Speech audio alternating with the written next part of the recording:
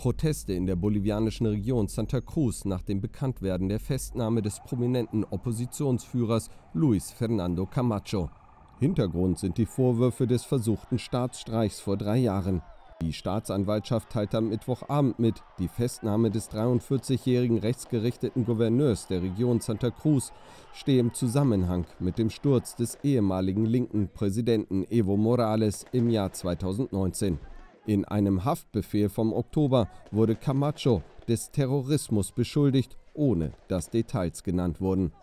Damit verschärfen sich die Spannungen zwischen der Linksregierung von Präsident Luis Arce und Camachos Basis in dem wohlhabenden Landwirtschaftszentrum Santa Cruz.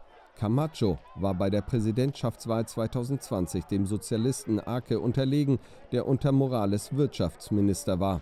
Camacho wies die Anschuldigungen als falsch und unglaubwürdig zurück. Er sei von der Polizei brutal entführt worden, teilte er auf Twitter mit.